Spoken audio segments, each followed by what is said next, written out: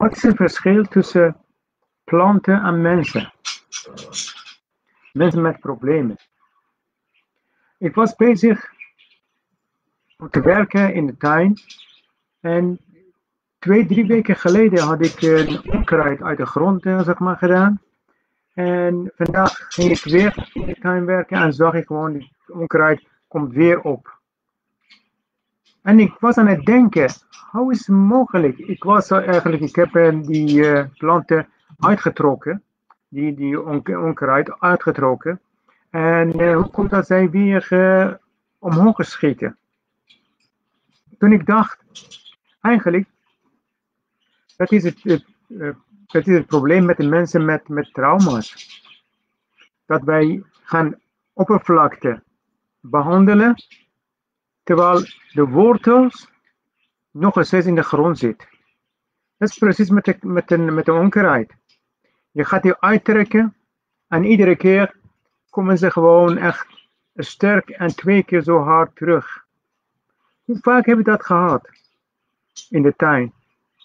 Dus dat is eigenlijk hetzelfde wat wij meemaken. We hebben een probleem, het kan pijn zijn, het kan verslaving zijn, overgewicht en alles kan zijn.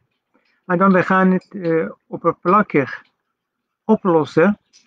En wij, we zijn twee of drie weken, misschien twee, drie maanden, misschien twee, drie jaar van het probleem af. Maar op een gegeven moment, het probleem komt weer naar de oppervlak. En dat gaat, dat gaat ons ja, lastigvallen, problemen veroorzaken.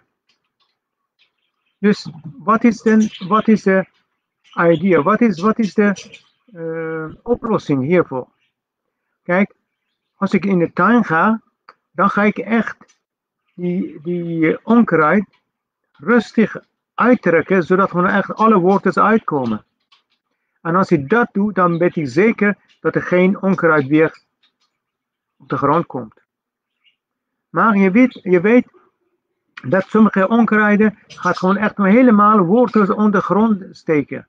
Dus je denkt dat je klaar bent met het met weghalen van onkruid, maar er zijn echt ja, netwerk van, van wortels zitten ondergrond.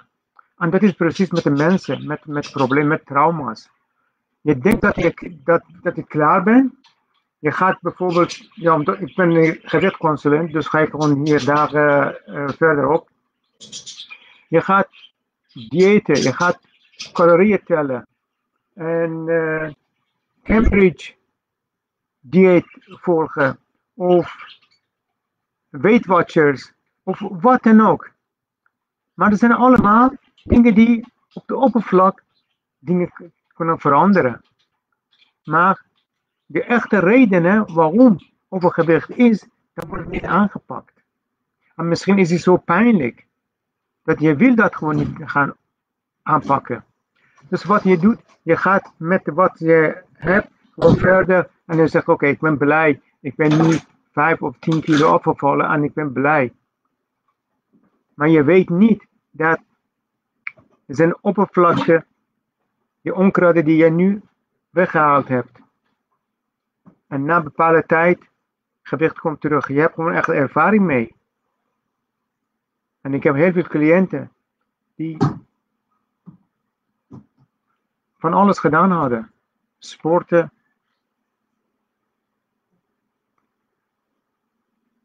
Verschillende diëten gevolgd hebben. Maar toch ze zijn niet blij met zichzelf. Zelfs als ze afvallen. Ze gaan, ze gaan in de spiegel kijken en ze zien gewoon een dikke persoon. Waarom? Omdat hier een probleem niet opgelost is. Dus de eerste stap is dat de wortels van de onkruid uit de grond halen en dan kijken of er netwerken zijn in de grond.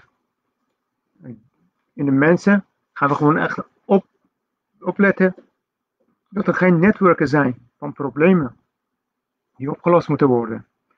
En wanneer wij die uitvinden, gaan we gewoon echt één of één uit de grond trekken.